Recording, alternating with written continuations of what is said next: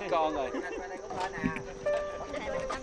bởi vì bây giờ thì cái tuổi mình lớn rồi á rồi không có đi làm công ty đâu được thì bây giờ mình mở ra cái, cái tập đoàn mình để anh em chị em rồi mình tập trung mình làm để kiếm tiền sinh sống á hàng ngày mà nếu mà bằng như vậy á thì mình à, chia ra thì một người á thì có thể là 200, trăm rưỡi 200 tùy theo ghe bự ghe nhỏ. Thấy phụ nữ làm cũng mệt lắm. Bà bé Tám là người nhiều kinh nghiệm nhất trong số ba nữ nhân công vác củi của nhóm này. Mỗi ghe chở vài tấn củi, mỗi lần vác chừng 20 kg. Cũng nặng và cũng mệt, nhưng bà chẳng một lời thở than, bởi có vất vả mới thanh nhàn. Suốt mười mấy năm nay, đôi chân vẫn miệt mài và bờ vai mềm vẫn luôn vững chãi.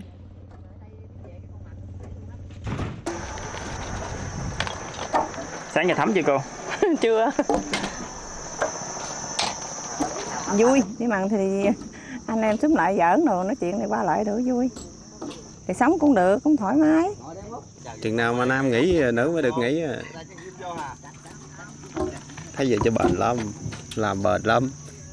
Em thấy đó vậy đó chứ giác mỗi ngày ngày nào cũng ghe củi là lớn lớn không à. Công việc gì hễ mà đưa cho phụ nữ làm là mình khỏi cần quan tâm tới. Họ làm như cái ý mình luôn. Ăn cơm ơi ăn cơm được không rồi Đi làm từ sớm nên chừng 9-10 giờ sáng là người dắt củi đã cần ăn trưa để đủ sức làm luôn buổi đứng. Mấy năm trước, chị chót theo chồng về xứ này làm dâu, rồi thuyền thang mà đậu bến thang. Đôi dài thiếu nữ ngày nào giờ gánh vác hết việc trong việc ngoài, vì chồng vì con. gác mặn tiếp chồng mình được mặn chứ để mình sửa sạn mà mình không ờ, eo hẹp cũng sửa sạn gì được. Phải không? Kệ đi gán mặn lo cho con chứ sửa sạn rồi cũng đâu có ăn uống gì được đó.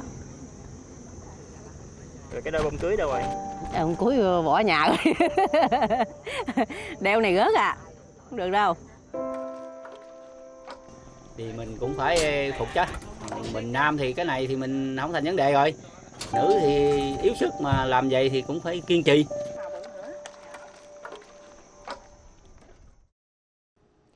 Nhân ngày đặc biệt của Phụ nữ Việt Nam, xin được cảm ơn và xin được gửi những lời chúc tốt đẹp nhất đến các chị em phụ nữ. Xin được chúc cho các chị luôn dồi dào sức khỏe và có thật nhiều niềm vui trong công việc cũng như trong cuộc sống của mình.